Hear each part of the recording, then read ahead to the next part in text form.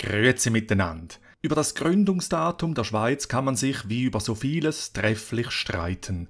Oder darüber, ob sie überhaupt gegründet wurde im Sinne eines traditionellen Gründungsakts. Schauen wir es uns also an. Nach unserem heutigen Geschichtsverständnis ist die Keimzelle, die Urschweiz, 1291 gegründet worden. Im damaligen Bundesbrief schlossen sich die drei Urkantone Uri, Schwyz und Unterwalden zu einem Rechtsbündnis zusammen. Man einigte sich zum Beispiel darauf, keine fremden Richter zu akzeptieren, wie mit Brandstiftern umzugehen ist oder wie Diebstahl, Gewalt oder Justizflucht unter den drei Waldstätten geregelt wird.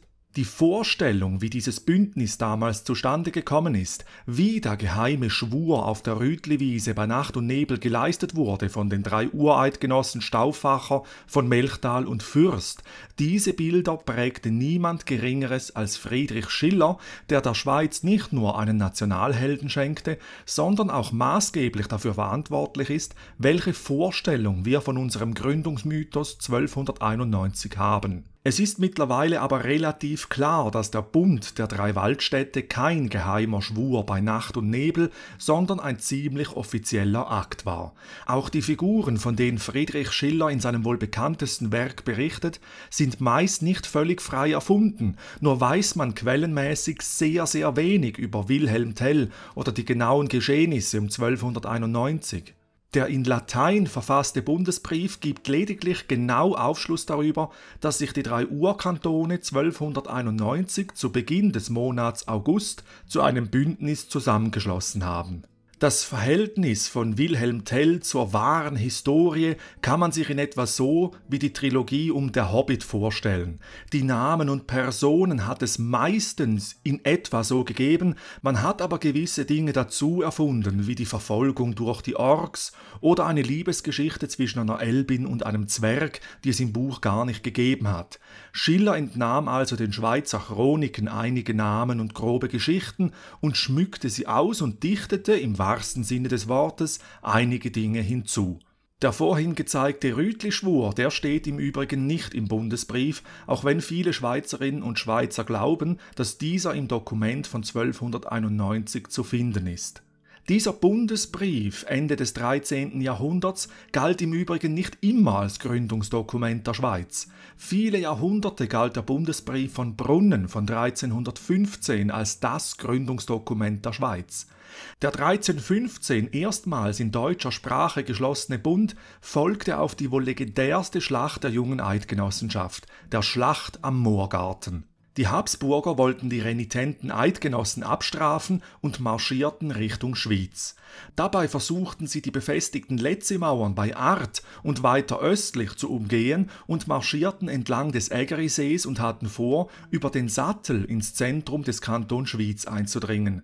Die Habsburger führten auch Scheinangriffe auf die befestigten Anlagen bei Art, um sicherzugehen, dass ihre Finte glückte. Die Schweizer und die verbündeten Urner wussten aber Bescheid und planten einen Hinterhalt im versumpften Gebiet südlich des Sees. Die ca. 9000 Habsburger, davon 2000 Ritter, wurden voneinander abgeschnitten und die numerische und materielle Überlegenheit auf dem engen Hohlweg zwischen Hängen, See und Sümpfen war nutzlos. Die Eidgenossen ließen Felsen und Holzstämme die Hänge herunter, die Pferde der Habsburger scheuten und die mit Hellebarden wütenden Urschweizer hatten leichtes Spiel. Viele zurückweichende Habsburger ertranken, weil sie entweder in den See oder in die Sümpfe getrieben wurden, und das damals hochmoderne Ritterheer konnte seine Überlegenheit nicht ausspielen. Und der darauf geschlossene Bundesbrief von Brunnen 1315 galt viele Jahrhunderte als Gründungsdokument der Schweiz. Der Bundesrat hat 1891 eine Jubiläumsfeier anberaumt und dieser Bundesbrief von 1291 erhielt zum ersten Mal zentrale Bedeutung für die Gründungsgeschichte der Schweiz. Und das hat sich seither nicht mehr geändert. In unserem zentralen Geschichtsverständnis ist 1291 das Gründungsjahr der Schweizerischen Eidgenossenschaft.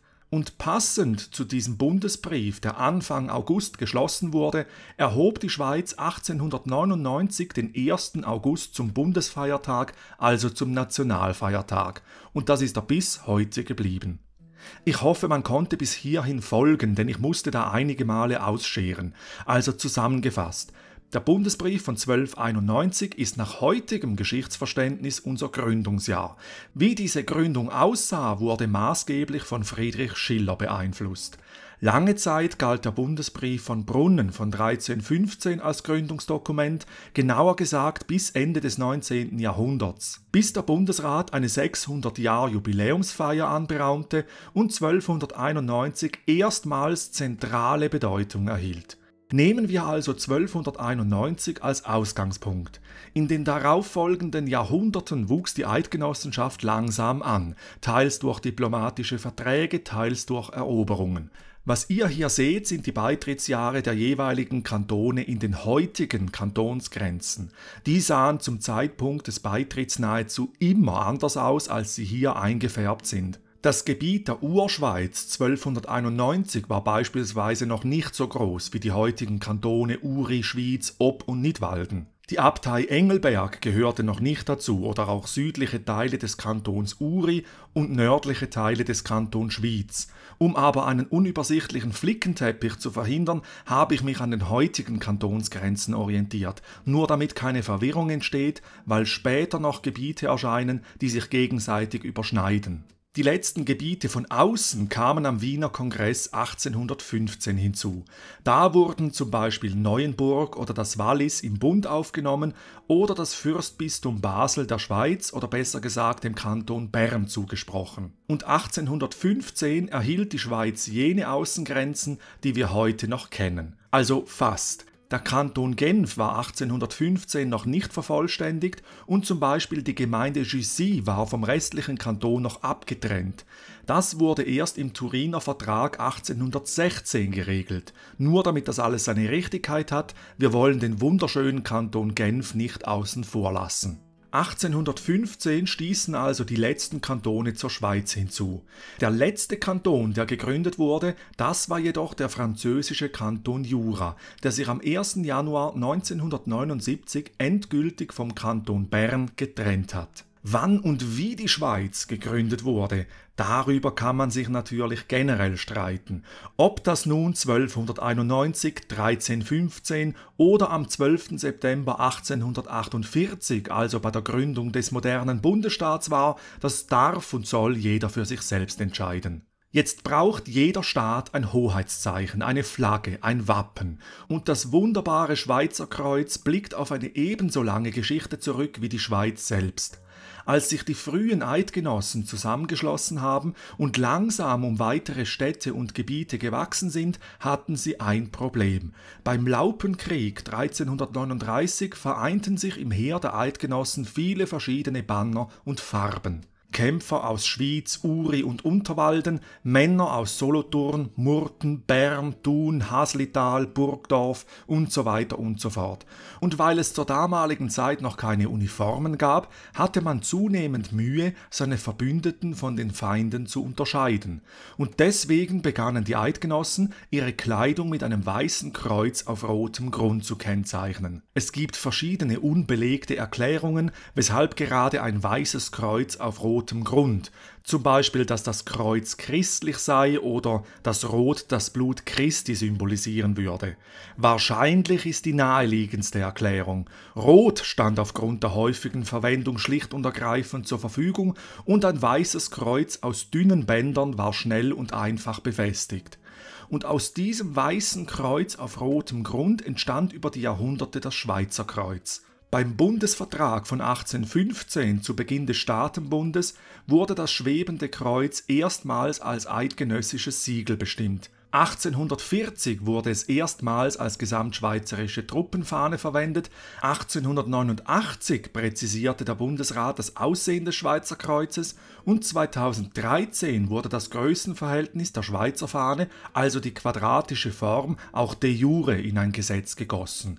Die erste offizielle Nationalflagge der Schweiz zierte übrigens kein Kreuz, sondern war von oben nach unten grün, rot, gelb. Das war die Fahne des ersten gesamtschweizerischen Nationalstaates von 1798, der Helvetischen Republik. Jetzt hat die Schweiz unschwer zu erkennen auch einen Namen. Logisch, Schweiz. Und weshalb der Staat Schweiz heißt, ist relativ einfach zu erklären. Im Bündnis der Urkantone war der Kanton Schwyz der wirtschaftlich, politisch und militärisch dominierende Teil der Eidgenossenschaft. So begannen erst Außenstehende, auch die Habsburger, verallgemeinernd von den Schweizern zu sprechen, obwohl das den Menschen aus Uri, Ob und Nidwalden erst nicht wirklich gefiel, begannen sie irgendwann selbst aus Trotz oder Einfachheit den Begriff Schweizer als Sammelbegriff für die verschiedenen Gebiete der Eidgenossenschaft zu verwenden. So haben wir unseren Staatsnamen also wirklich vom Kanton Schwyz. Woher hingegen der Kanton Schwyz seinen Namen hat, das ist bis heute nicht zu 100% geklärt. Es kann nicht wirklich treffsicher auf einen lateinischen oder alamannischen Begriff zurückgeführt werden, auch Erklärungsversuche aus einer anderen Sprache, wonach Schwyz von Suede, also hell oder glänzend abgeleitet wurde, sind nicht belegbar. Es gibt aber einen schönen Gründungsmythos. Die Vorfahren der Schweizer sollen aus Schweden stammen, die das karge Nordland verlassen haben, um im Talkessel in der Zentralschweiz eine neue Heimat aufzubauen. Die beiden schwedischen Brüder Suito und Jay waren angeblich die Anführer der Schwedenschweizer und nachdem Suito seinen Bruder in einem Zweikampf erschlug, benannte er das neue Land nach sich selbst. Wieso der Kanton Schwyz nun Schwyz heißt, kann man nicht zu 100% erklären. 100% klar ist aber, weshalb das internationale Kürzel der Schweiz CH lautet. Confederatio Helvetica, Schweizerische Eidgenossenschaft. Latein deshalb, um keine der vier Landessprachen zu übergehen. Ein Schweizer Kompromiss eben. Und Helvetia, auch der Name unserer Schutzpatronin, geht im Übrigen auf den keltischen Stamm der Helvetier zurück, der vor über 2000 Jahren das Gebiet der heutigen Schweiz besiedelte. Es ist also eine reiche und lange Geschichte, die unser Land zu bieten hat, die mit jedem neuen Tag noch ein bisschen weiter wächst. Im Bewusstsein, dass wir Schweizer ein Land sind, das mit Kompromissen, blutigen Schlachten, diplomatischen Verhandlungen und zähen Streitereien zu dem geworden sind, was wir heute sind, mit unseren verschiedenen Wurzeln, die bis ins Jahr 1291 zurückreichen. Merci fürs Zuhören.